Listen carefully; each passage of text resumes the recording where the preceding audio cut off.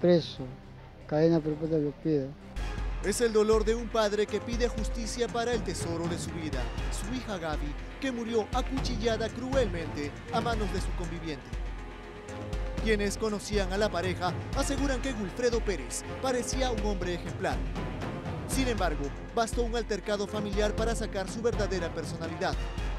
Cogió un cuchillo y atacó a la mujer de 20 años hasta dejarla moribunda. Podía hablar, yo le hablaba y no me contestaba. Cortada acá y cortaba acá, cortaba y un empuñalado acá. Esta vivienda del asentamiento humano 14 de enero en Villa María del Triunfo fue el escenario de sangre. La madre de Gaby Valenzuela relata lo ocurrido el día del crimen. Entré apurado y él me empujó para acá. Y mi esposo vino corriendo y lo siguió para acá arriba. Para arriba corrió, para arriba, para arriba. Wilfredo Pérez, el feminicida, huyó del lugar y se especula que estaría en el norte del país.